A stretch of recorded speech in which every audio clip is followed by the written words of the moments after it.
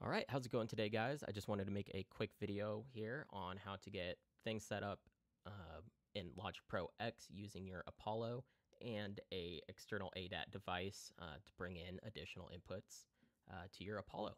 So first things first, we're going to go ahead start input one. Down here, number of tracks, enter two. Make sure that's ascending. Create.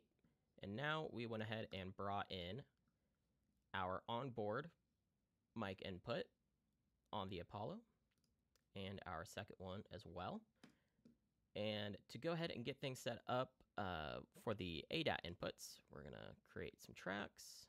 Starting at input 9, this is where the ADAT inputs start is input 9.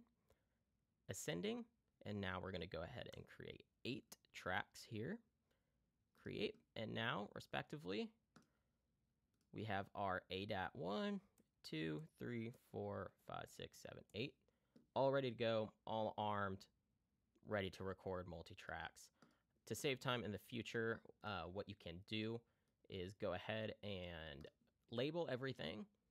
You can even pan things out, throw some effects, plugins, whatever you want. Go up to File, save as template, and then next time, all that setup, you know, that 30 seconds of setup time is all ready to go in a template. Awesome. Thanks for watching.